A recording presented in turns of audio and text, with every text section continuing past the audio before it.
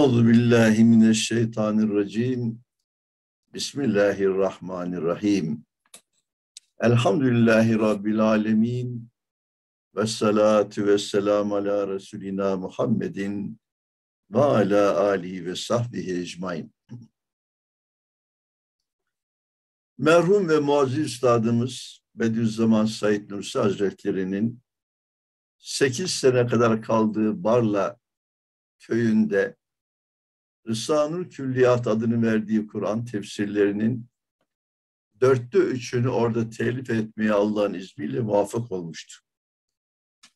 O telif ettiği eserlerden birisi de hacimli bir kitap olan Mektubat adlı eserdir. Biz bir müddetten beri bunu okuyarak, paylaşarak, birlikte istifade ederek geliyoruz. 10. mektuptan birazını okumuştuk. Yarım kalan o dersimizi bu akşam tamamlayacağız inşallah. Kur'an-ı Azimüşşan'da müteaddit surelerde, müteaddit ayetlerde İmam Mübin, Kitab Mübin diye Cenab-ı Hak iki hakikatten bahsediyor. İslam alimleri İmam Mübin, Kitab Mübin ikisi de aynı şeydir demişler. Bir kısmı ayrı ayrıdır demişler. Benzeman Hazretleri ise okumuş olduğumuz dün akşamki yerde İmam Mübin şimdiki zamandan ziyade geçmişe ve geleceğe, maziye ve istikbale bakıyor diyor.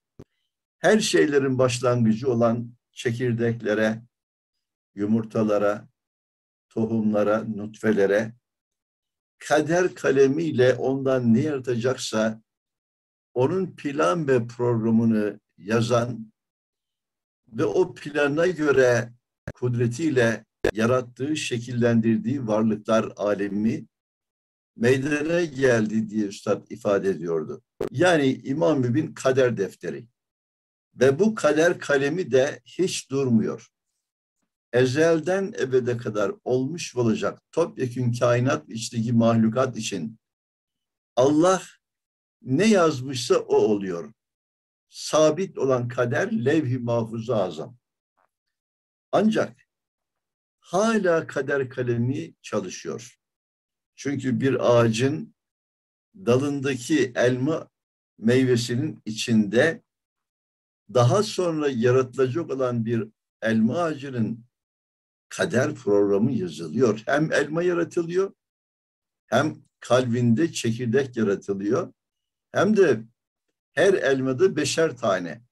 Beş, İslam'ın beş şartını hatırlatırcasına beş tane çekirdek oluyor. Hangi çekirdeği ekseniz ondan yeni bir elma ağacı çıkıyor.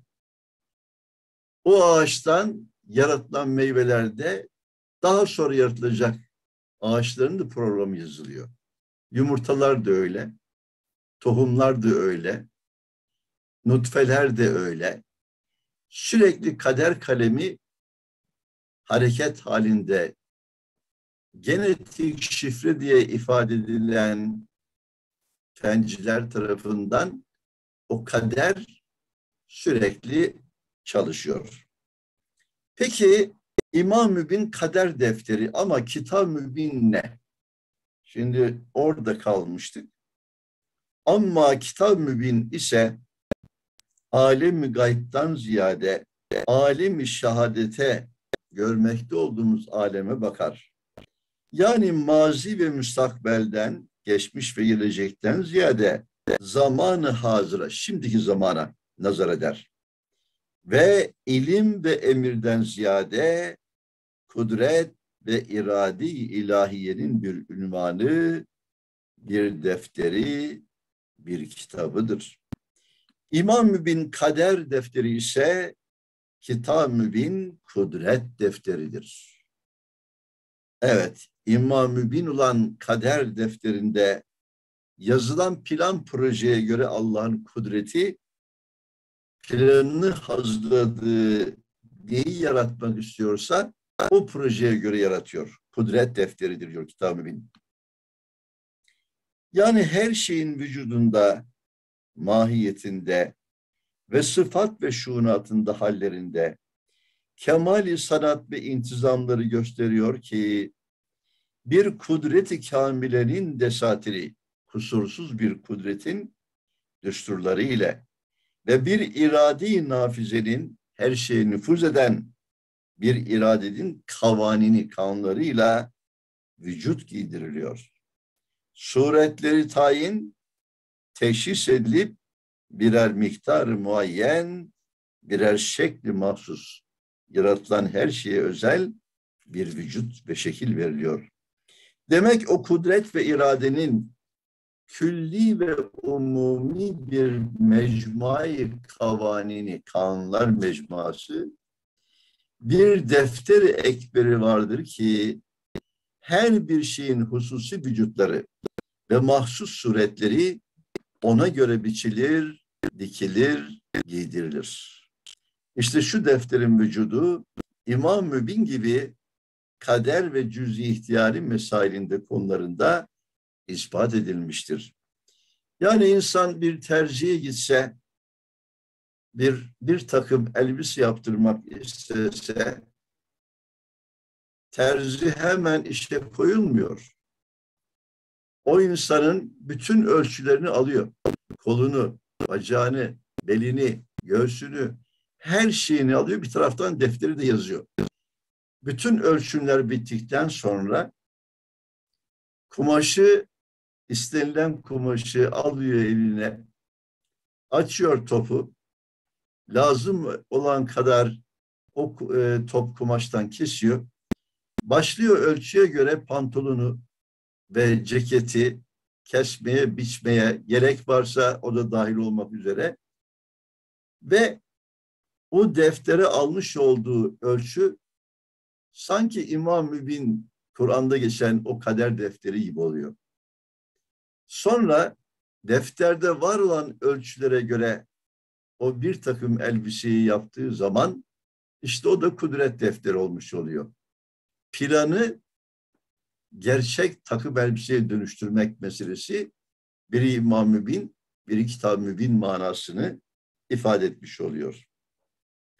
Ehli gaflet ve dalalet ve felsefenin ahmaklığına bak ki kudreti fatıranın o yaratıcı kudret Cenab-ı Hakk'ın o levh-i mahfuzunu her şeyin kaderde planlanmış olduğunu ve hikmet ve irade-i Rabbaniye'nin o basirane görerek yazılmış kitabının eşyadaki cilvesini, aksini, misalini hissetmişler.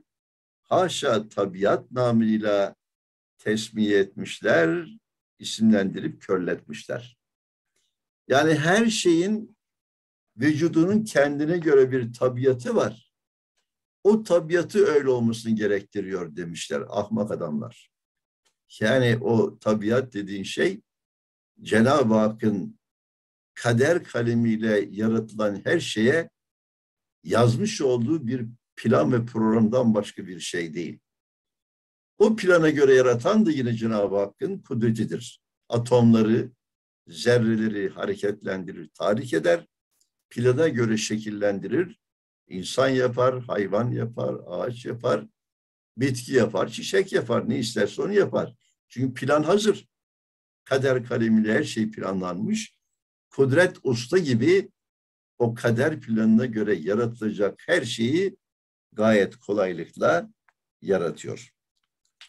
İşte İmam Mübin'in imlası ile yani İmam Mübin kaderin yazmasıyla yani kaderin hükmüyle ve düsturuyla kudret-i ilahiye icadı eşyada varlıkların vücuda getirilişinde her biri birer ayet olan Allah'ın varlık ve birliğine birer delil olan silsile-i mevcudatı varlıklar alemini levh-i maf ispat denilen yani yazboz anlamına gelen zamanın sayfi misaliyesinde yazıyor, icat ediyor, zerratı atomları tahrik ediyor, hareketlendiriyor.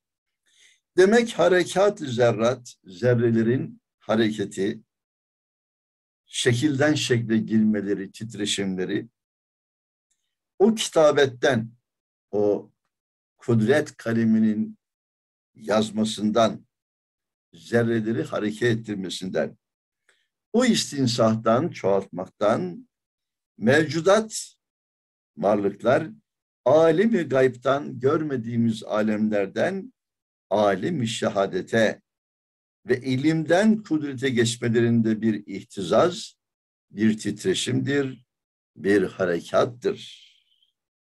Ya demek ki Cenab-ı Hakk'ın kudreti bir kalem, kudret kalemi, zerreler de o kalemin uçları gibi. Cenab-ı Hak kudret kalemiyle önceden planlanmış olan varlıkların maddi bedenlerini atomları tahrik ederek şekillendiriyor. Plana göre ne yaratmak istiyorsa onu yaratıyor. Demek ki o titreşim, o ihtisas, ihtizaz, hareketlenme, e, tahavvülat zerratın ne anlama geldiğinin ifadesiymiş. Zerrelerin halden hale geçmeleri ne demek? İşte buymuş. İlimden kudrete, plan proje durumundan maddi varlık haline getirilirken kader kaleminin planları zerreler hareket ediyor, halden hale geçiriliyor ve ortaya insan, hayvan, bitki, ağaçlar dediğimiz ne yarattıysa Cenab-ı Hak onlar çıkmış oluyor, ortaya çıkıyor. Ama levh-i maf ispat ise levh-i maf ispat yani ispat etmek, yok etmek anlamında, vücuda getirmek, yok etmek anlamlarında. Bu ise sabit ve daim olan levh-i mahfuz azamın yani ezelden ebede kadar kainatta olmuş olacak ne varsa hepsinin yazıldığı o levh-i mahfuz azamın daire-i mümkünatta yani mevt ve hayata, ölüme ve hayata, vücut ve fenaya daima mazhar olan eşyada mütebeddil değişken bir defteri ve yazar bozar bir tahsısıdır ki hakikati zaman odur. Zaman denilen şey buymuş yani. Evet her şeyin bir hakikati olduğu gibi zaman dediğimiz kainatta cereyan eden bir nehri azimin akıp giden büyük bir nehirin hakikati dahi levh-i maf ispattaki yazboz tahtasındaki kitabeti kudretin, kudret kaleminin yazmalarının sayfası ve mürekkebi hükmündedir. Zaman ne anlama geliyor? İşte tarifi buymuş meğer ya Fesubhanallah. Biz böyle bilmiyorduk. Zaman denilen şey işte saniye, dakika, saat, ondan sonra gün, hafta, ay, yıl. Öyle biliyoruz yani zaman. Hayır öyle değilmiş yani. Cenab-ı Hakk'ın levh-i mahfuzu azamının bu gelip geçici fani dünyada yazar bozar bir tahtası hükmünde olan bu mevcudatın yaratılması hayata mazhar kılınıp sonra ölüme maruz bırakılması dediğimiz olayın gerçekleştiği kudret kaleminin yazısı esnasında o yazının kalemin mürekkebi hükmünde olan bir hakikatmış zaman. Ya la ya'lemül gayba illallah. Yine gaybı Allah'tan başka kimse bilemez. Böylece İmam Mübin, Kitab Mübin diye Kur'an-ı Azimüşşan'ın muhtelif, muhtelif sure ve ayetlerine geçen bu iki terim diyelim artık iki terimin ne anlama geldiğini böylece ucundan kıyısından biraz anlar gibi olduk. Demek İmam Mübin kader defteri, Kitab Mübin de o kader programının varlık alemine getirilirken Cenab-ı Hakk'ın o plana göre yaratma olayı da kudret defteri oluyormuş. Kitab-ı Mübin, kudret defteri. Bu kadarla iktifa edelim. Şimdi çok enteresan bir soru daha. İkinci sual, meydan haşir nerededir? Subhanallah. şimdiye kadar hiç cevabı verilmemiş bir soru ve cevabı var şu anda. Haşir ne demek? Yeniden diriliş demek. Haşir meydanı da o dirilişin gerçekleşeceği alan anlamına geliyor. Allah Allah. Biz öldükten sonra dirilecek miymişiz? Ne sandın ya? Allah Allah. Yani insan dünyaya boş boşuna gelmediği gibi boş boşuna da ölmüyor. Boş boşuna da tekrar diriltilmeyecek. Bu yaşadığımız hayatın hesabı tek tek sorulmak üzere bir büyük mahkeme açılacak. İşte o mahkeme-i kübra denilen en büyük mahkemenin kurulacağı, insanların amellerinin hesabının görüleceği büyük bir meydan, diriliş meydanı. E neresi peki bu? E o zaman üstada soralım bakalım neresiymiş? El cevap. Bel ilmu indallah.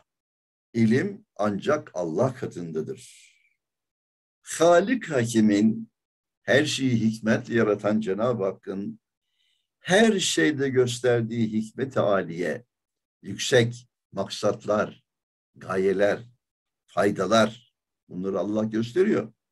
Hatta tek küçük bir şeye çok büyük hikmetleri takmasıyla tasrih derecesinde işaret ediyor ki, ediyor ki küreye arz, bu yer küre dünyamız serseriyane, böyle başıboş gibi badi heva rastgele azim bir daireyi çizmiyor. Allah Allah.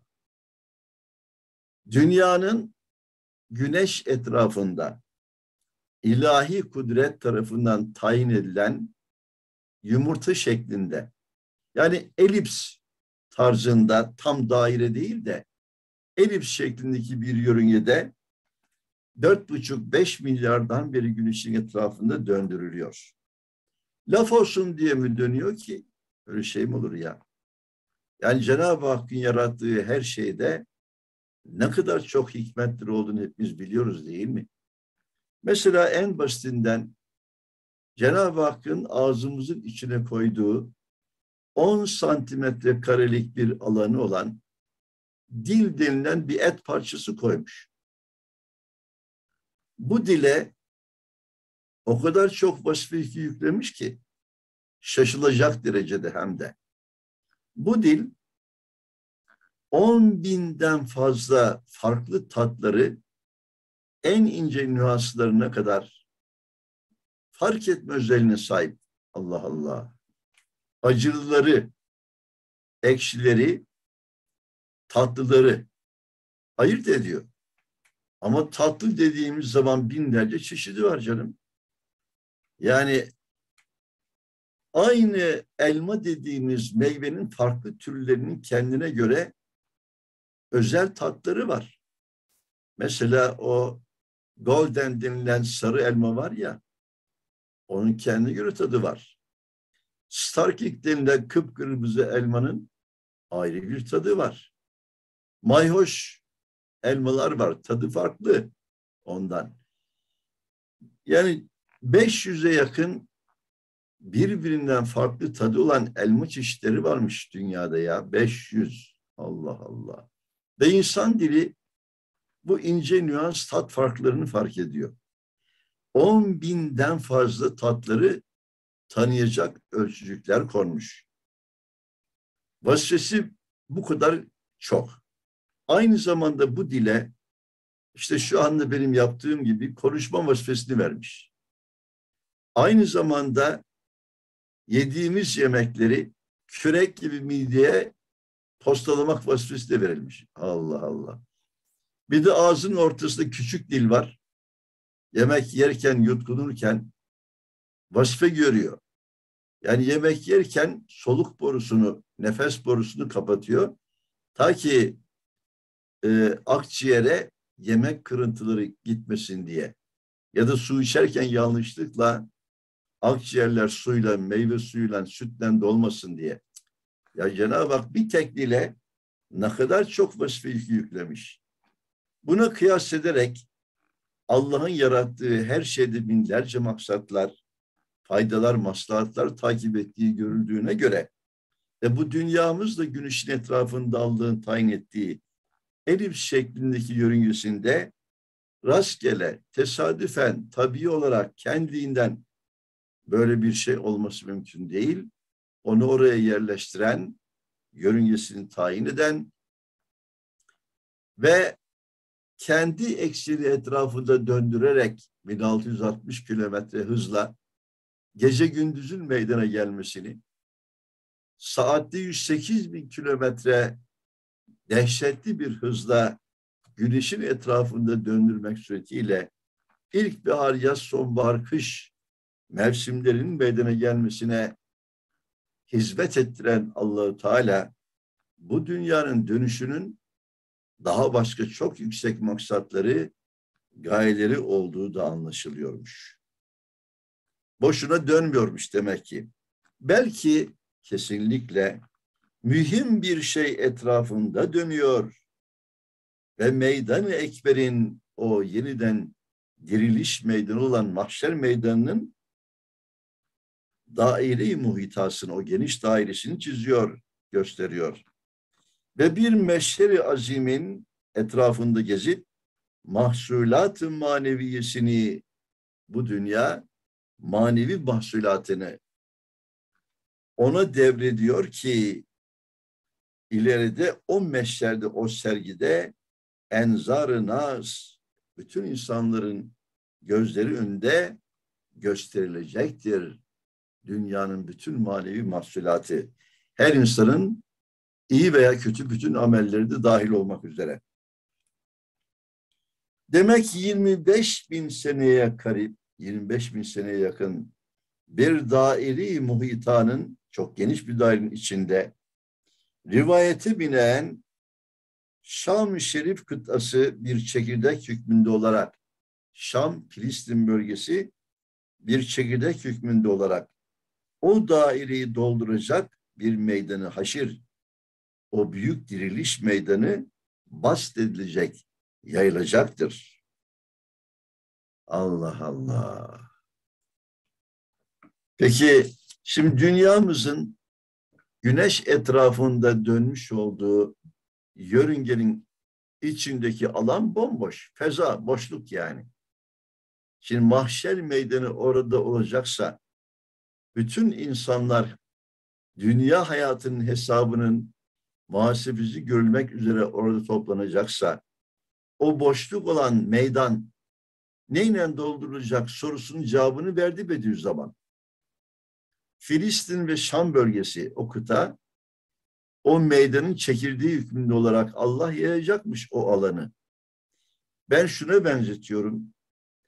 Nasıl ki hanımlar yumruk kadar hamuru alır, oklavayla yuvarlaya yuvarlaya yuvarlaya tepsi kadar geniş bir yufka, bir alan meydana geliyor.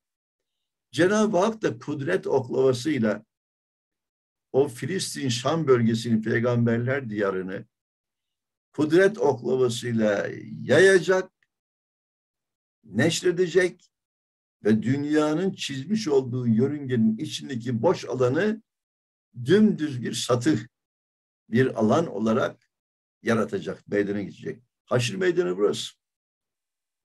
Ve insanlar birden Allah'ın kudretiyle kabirlerinden kaldırılacaklar.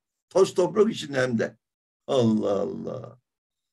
Ve Yasin-i Şerif'te haber verildiğine göre insanlar galu ya veylena men ba'dena min merkadina hâzâ mâ ba'der rahman ve sadakal mürsel. Bak Yasin'de geçiyor bu ayet kerime.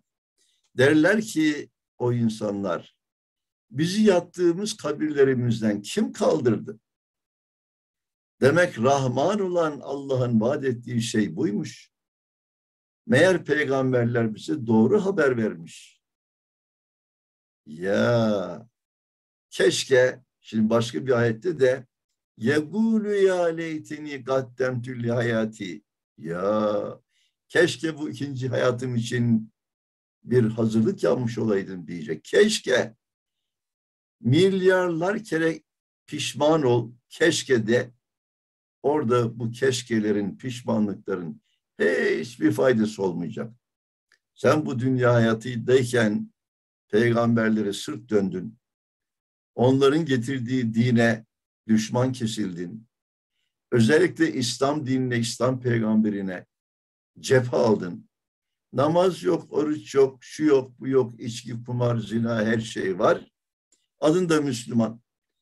Ya da Müslüman görüntüsü altında tam din düşmanısın, ateistsin.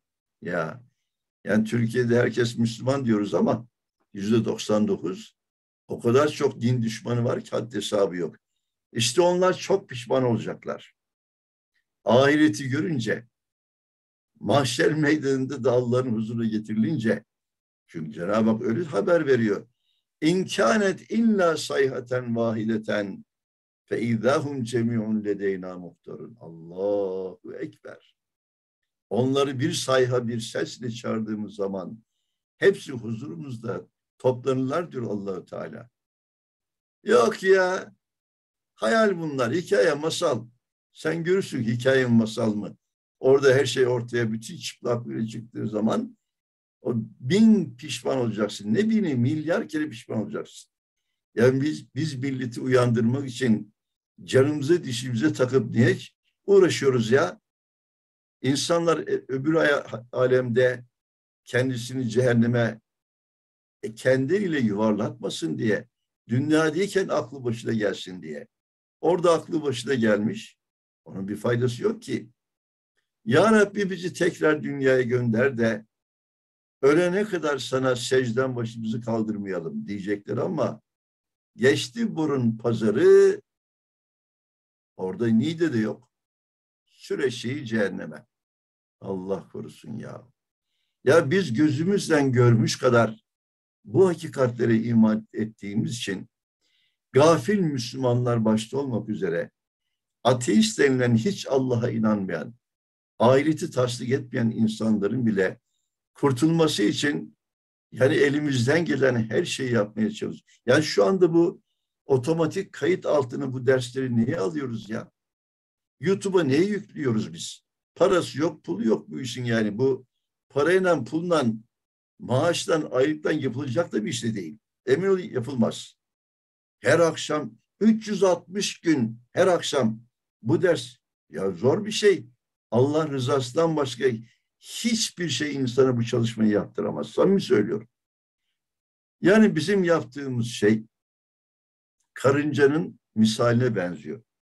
Bir damlacık suyu almış sırtına karınca yolda giderken sormuşlar nereye gidiyorsun? Duydum ki dostum İbrahim'i Nemrut ateşe atmış. Ateş söndürmeye gidiyorum. Allah Allah. Ya bir damlacık o ateş nasıl sürecek? Benim elimden gelen budur. Ben bundan mesulüm demiş. Vallahi sırtımıza bir damla suyu aldık. İnsanlar cehennem ateşine düşmesin diye söndürmeye koşuyoruz. Biz vasfimizi yaparız. Allah'ın vasfisine karışmayız. Ya. Şimdi devam ediyoruz. Bütün bu dünyanın manevi mahsulatı o meydanın etrafındaki levhalara kaydediliyormuş. İleride gösterilecek her şey. Evet küre az bir tarla, bir çeşme, bir ölçek hükmünde olarak o meydan ekberi dolduracak kadar mahsulat vermiş ve onu istihab edecek mahlukat ondan akmış ve onu imla edecek, dolduracak masnuat ondan çıkmış. Demek küre az bir çekirdek ve meydan aşır içindekilerle beraber bir ağaçtır, bir sümbüldür ve bir mahsendir. Evet nasıl ki nurani bir nokta sürati hareketiyle nurani bir hat olur veya bir daire olur. Yani bir sopayı yaksanız ucunu çevirdiğiniz zaman ucundaki ateş kocaman bir ateşten çember gözüküyor. Değil mi? Onun gibi öyle de küre süratli hikmetli hareketiyle bir dairi vücudun temessülüne ve o daire vücut mahsulatla beraber bir meydanı haşr-ı ekberin teşekkülüne medar vesiledir. Demek ki dünya serseriyane boş boşa güneşin etrafındaki yörüngesine dönüp durmuyor, döndürülüyor Cenab-ı Hakk'ın kudret tarafından ve bu dünyada yaşayan cin ve insanların amelleri o meydanın levhalarına gönderiliyor. İleride büyük bir hesap kitap görülecek. Allah cümlemize mahşer meydanında hesabımızı kolaylıkla vermeyi nasip ve müyesser kılsın. Duasıyla dersimizi burada tamamlamış olalım. Sübhaneke la ilme lena illa ma allemtena inneke entel alimul hakim. Ve ahiru davahum enilhamdülillahi rabbil alemin.